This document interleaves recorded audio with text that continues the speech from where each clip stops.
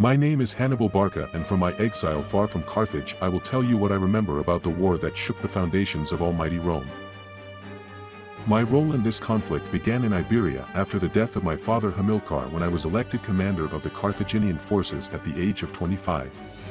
In the year 219 BC we attacked the city of Saguntum because its alliance with the Romans slowed the expansion of our nation. This caused war to break out with Rome and I decided to invade Italy, eager to avenge Carthage's defeat in the First Punic War.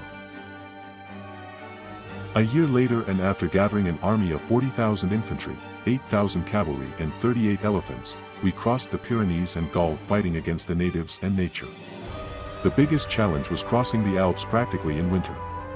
In the 15 days it took us, we lost almost half of the soldiers and several elephants perished. Finally we managed to enter Cisalpine Gaul, northern Italy, surprising the Romans. In November, a first confrontation took place between cavalry forces from both sides near the Ticino River, which concluded with a clear Carthaginian victory and where the Roman commander Publius Cornelius Scipio was wounded. This result encouraged multitudes of Gallic warriors to join our battered army. Scipio's army retreated to Placentia awaiting reinforcements. The legions of Sicily under the orders of the other consul, Tiberius Sempronius Longus, were sent to the north and both forces were reunited. Scipio's wounds caused the command of all the legions to fall to Sempronius. In December 218 BC, our armies were located near the Trebia River. After several skirmishes favorable to our enemies, the Roman consul was eager to enter combat. Our camp and that of the Romans were very close and I decided to attract them to a battle on a terrain chosen by me. The site was a flat, tree-free area between the Luretta and Trebia rivers where an ambush would not be expected. I ordered my brother Mago and a contingent of 1,000 cavalry and 1,000 infantry to hide in the bushes on the banks of the Trebia and to attack only at the decisive moment of the battle. The next morning, in freezing weather and light snow, I sent the Numidian cavalry across the river and attacked the Roman camp. This provocation caused Sempronius to order his cavalry to leave the camp and respond to the aggression.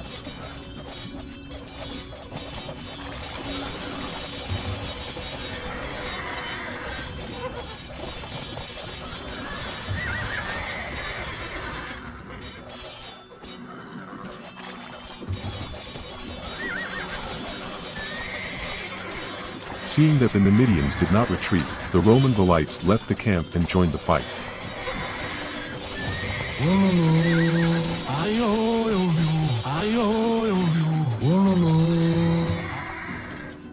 Shortly afterward, the entire Roman army set off in haste to engage in combat.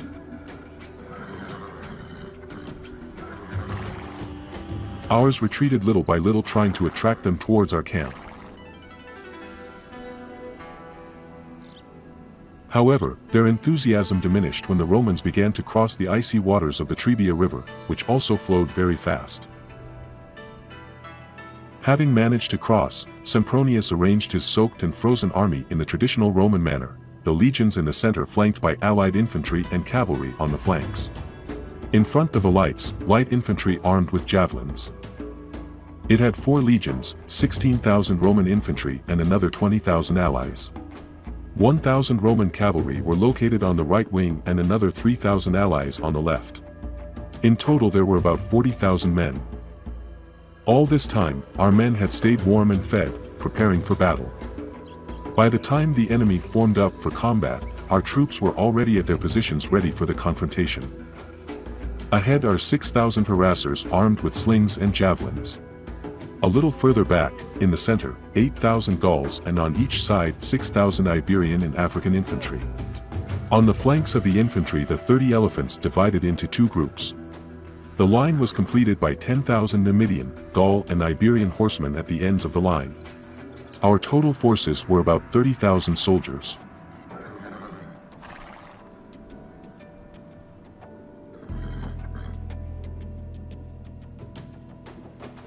Once the deployment was over, the harassers from both armies began the fight by firing their weapons.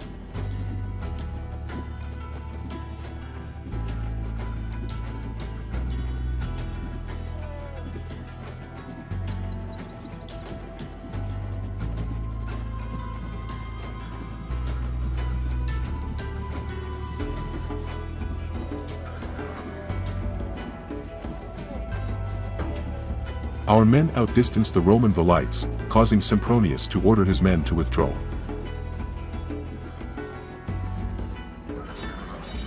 Meanwhile, the Carthaginian harassers fired at the Roman horsemen. At this point I ordered the flanking cavalry to attack the Roman horsemen and their allies.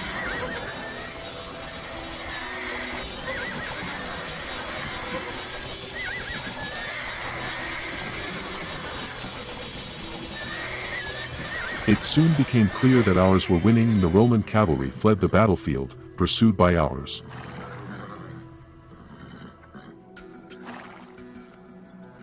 The Carthaginian and Roman infantry engaged in combat.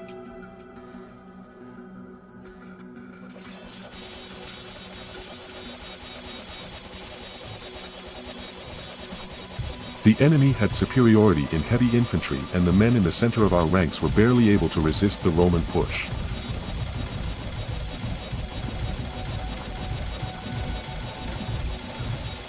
I ordered the African infantry and the skirmishers to attack the Romans on both flanks, exposed after the flight of their cavalry. The Roman allies, who occupied the ends of their line, found themselves surrounded and began to falter.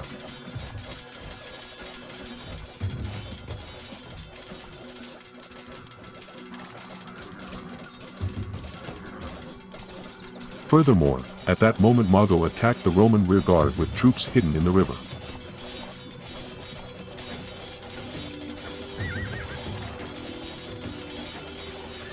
The Roman Triarians tried to confront this new threat.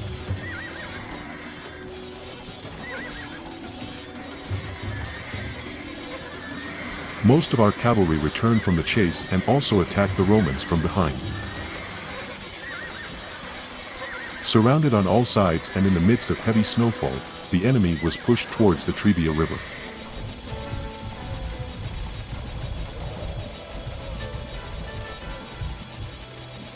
In the center, the Roman heavy infantry managed to defeat the Celtic warriors and break through their ranks, and while they were being pursued, Sempronius thought they were winning the battle.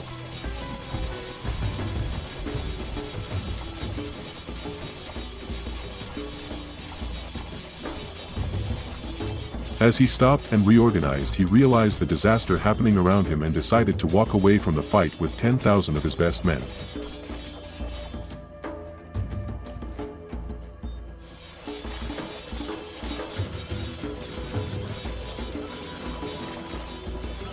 The rest of the Roman army disintegrated and our elephants and horsemen killed countless enemies in their attempt to flee.